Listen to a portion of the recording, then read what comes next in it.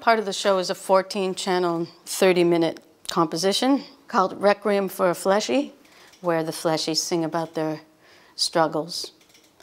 And there's, so there's three different times where they sing about it.